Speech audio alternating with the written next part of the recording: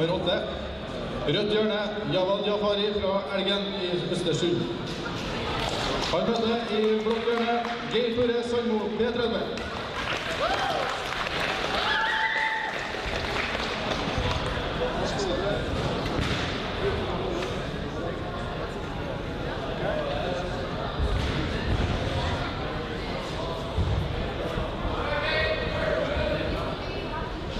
Ligger klar for første runde.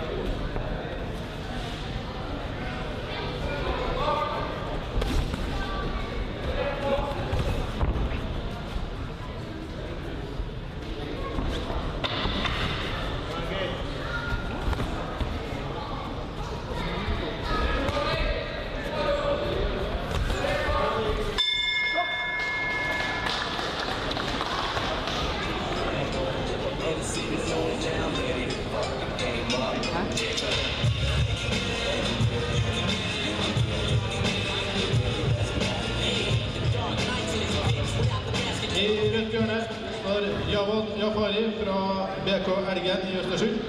Han er 20 år og bokser i dag sin første kamp. Trenes av Sven Lundstedt. Stor applaus til Jawad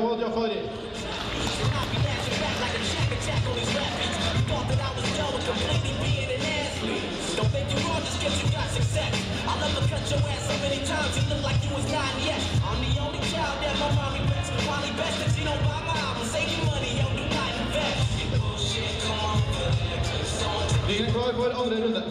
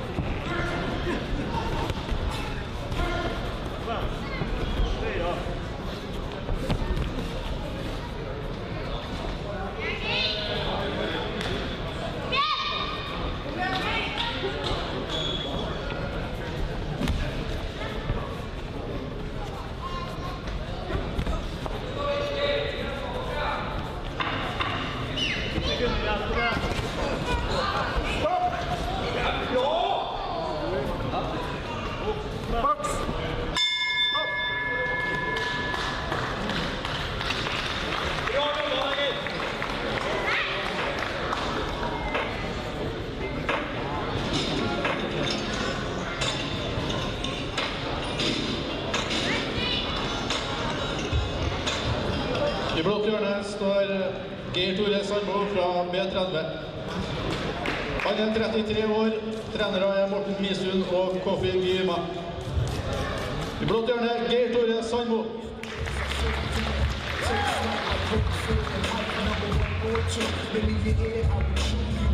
like tobacco. Major league shit, get hot in Tabasco. When you eat shit, cause niggas can't see me even with no tape on the Bentley. I'm simply a motherfucking magician Shit happens. Ringen klar for tredje og siste runde.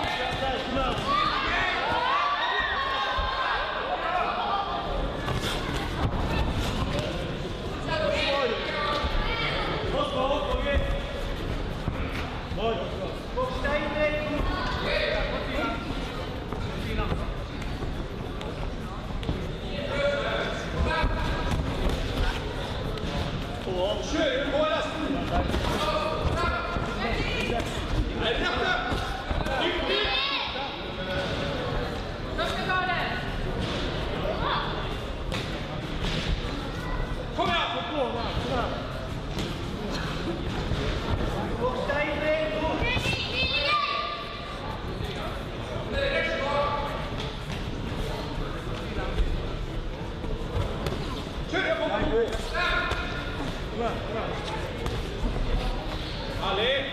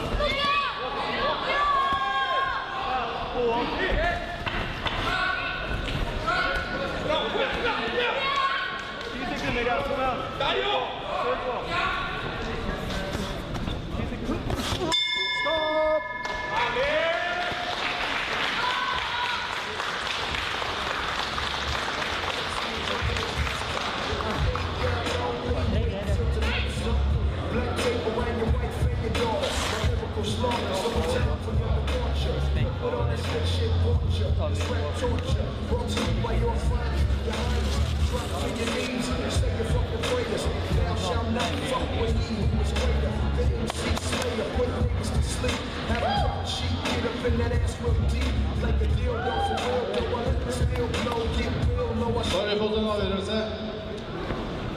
Tett og tøff kamp.